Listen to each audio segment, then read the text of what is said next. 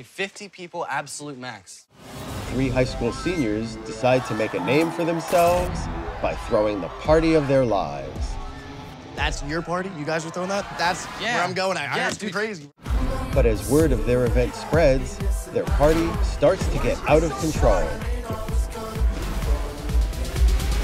The three try to salvage their lives while creating a legend.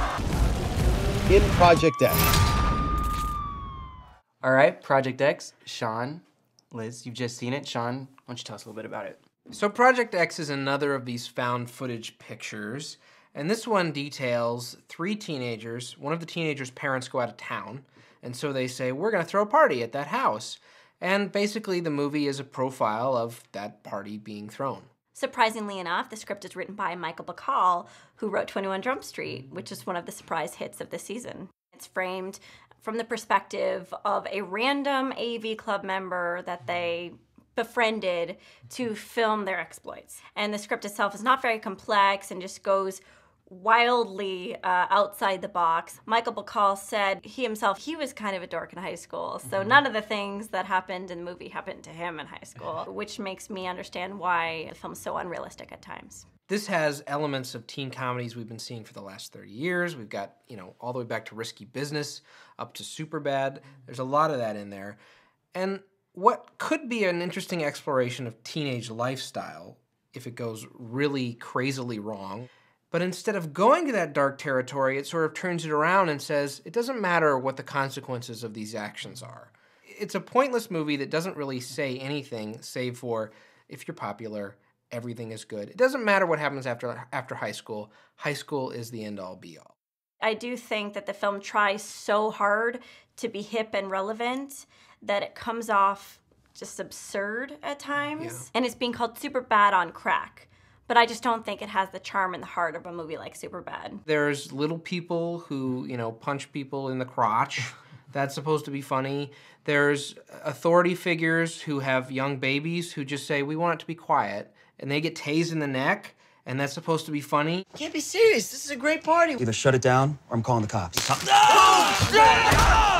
I'm calling the cops on your ass now. Do it, genius. It's all on tape. The film would have been a lot stronger if it had villainized the establishment, if it would have shown the establishment as, as incredibly square or hurtful. But instead, it just has normal characters if, who have authority being punished for no real reason. They, they've cast a lot of people here who are unknowns who are more or less playing themselves. You have a guy named Thomas Mann who plays Thomas. So Kirby they're, plays Kirby. Kirby mm-hmm. plays Kirby, so they're essentially improvising on screen. And they come across as natural, that's fine.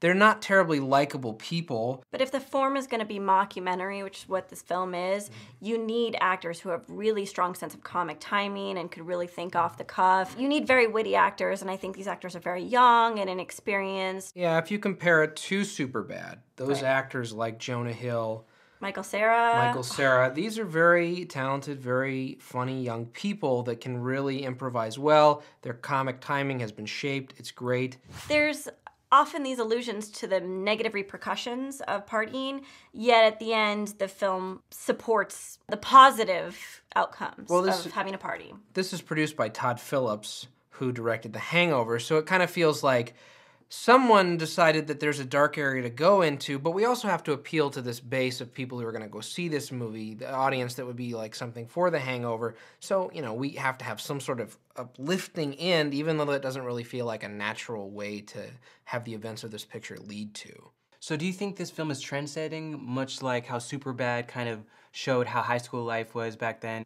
Teenagers will find this film really enjoyable. Well, but when you say teenagers, who are you talking about specifically? 15 year olds. 15 year olds aren't supposed to be able to see this movie. It's, And that's it's why they'll enjoy R. it. Because there's lots of boobs. But I don't think it's memorable. I don't think it's a trendsetter. I don't think it's a game changer. I just think that in a year it will be forgotten. But in that, you know, 90 minute to two hour span of people enjoying it, they're gonna have a great time. One thing to note for more sensitive audiences is that uh, you might get sick watching this movie, and it's not because of the content, though it is a little bit racy, of course, mm-hmm. but it's the shaky camera work. I'm such an old lady, but with the loud music and the shaky camera and the fast cutting, it gets a little disorienting at times. All right, we've taken this project as far as it can go. Let's vote. Take your tickets.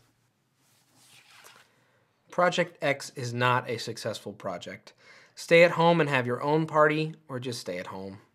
Skip it. It made me sick, but it will make teenage boys and girls laugh, cry, or both. Stream it.